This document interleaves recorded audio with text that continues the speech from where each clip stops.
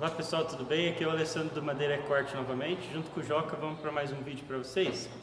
Nesse vídeo nós vamos aproveitar que estamos precisando trocar a lixa do disco de lixa dessa nossa lixadeira adaptada e vamos tentar mostrar para vocês todos os detalhes de como trocar da maneira mais segura e correta possível, tá certo? Bora lá? Então pessoal, primeiro a gente precisa identificar quando que está na hora de trocar a lixa. É, para identificar, a gente precisa estar tá alerta aos sinais, que é tá com dificuldade de lixar, tá desgastado a lixa já, tá queimando a peça ou tá ficando muito material empastado lá, não dá, não tá prejudicando o processo de lixagem, então precisa trocar, tá certo? Então vamos abrir aqui, tirar o disco para poder efetuar essa troca, certo? Nesse caso, olha como o disco está bastante queimado já, ó, com alguns resíduos de material aqui e já está queimando as peças, tá vendo? Tá ficando escuro as peças, porque tá tendo que pressionar muito contra a lixa e acaba queimando devido à alta rotação. Então, vamos trocar. Então, bora lá retirar o disco. Ele retira aqui. Usa uma chave para travar e outra para girar a porta.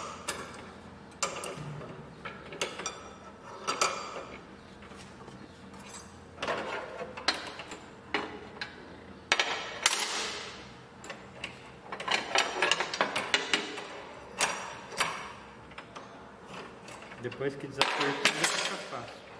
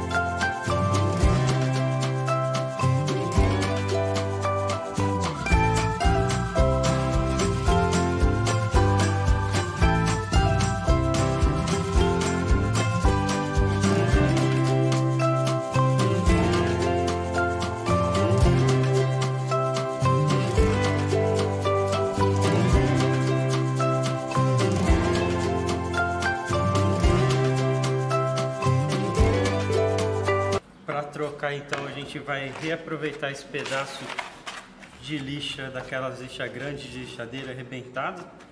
A gente tem um, um material desse aqui é, de descarte, que seria de descarte a gente reaproveita, né? Então a gente vai aproveitar esse pedaço aqui, que é uma outra lixa 60, igual a que estava. Como vocês podem ver, ó, foi pouco usada a parte mais central e a parte inferior, a parte das beiradas da lixa nem chegou a ser usada direito, aí a lixa arrebentou para, é, no caso, em vez de descartar, jogar fora, a gente reaproveita, tá certo? Então, a ideia é, colar, é pegar essa parte aqui mais da parte que está melhor da lixa, tá certo? Vai dar mais do que o suficiente. Então agora é só passar cola e colar antes de cortar. Uma dica bem importante é essa. Passa a cola na, é, no disco cola e depois você recorta com um estilete ou uma faquinha para poder ficar bem certinho o, o, acerto aqui nas bordas. Porque se você faz o risco, corta e depois na hora de colar você não consegue colar certinho e ficar desbalanceado, pode ser que depois na hora do disco girar, como ele gira muito rápido, pode ser que tenha um desbalanceamento lá que pode ser perigoso, tá certo? Então o ideal é colar primeiro, depois fazer o recorte. Bora lá? Então, a ideia na hora de passar a cola de secagem rápida é passar bem passadinho nas bordas inferiores e alguns lugares no centro. Não precisa passar em tudo para não... É, que é exagero colocar para colar é, com excesso. Mas colar nas bordas é importante porque evita que comece um processo de descolamento que possa ser perigoso na hora de uso do, do equipamento.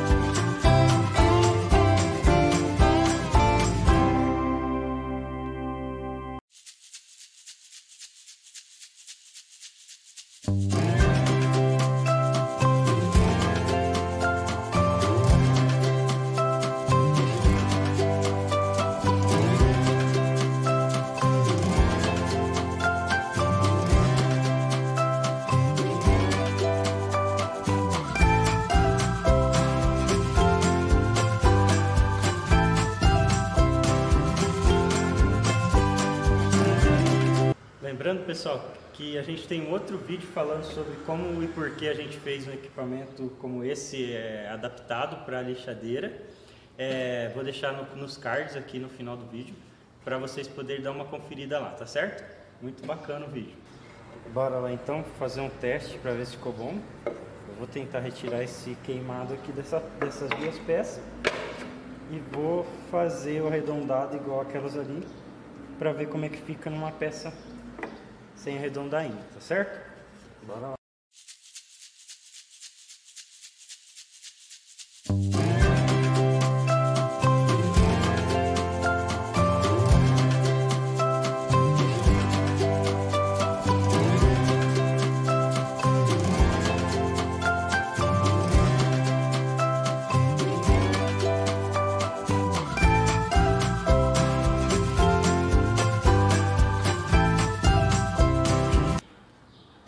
Pessoal. A lixa nova ficou ótima. Tá tirando todo o queimado e um teste que eu fiz no fundamento de uma peça nova não ficou nada queimado. Tá certo? Ah, lembrando que a gente coloca a lixa mais grossa na, no disco, porque a lixa grossa ela serve para desbaste. Então, normalmente você faz é, peças de desbaste aqui, tipo arredondamento, é, tirar alguma imperfeição nas peças.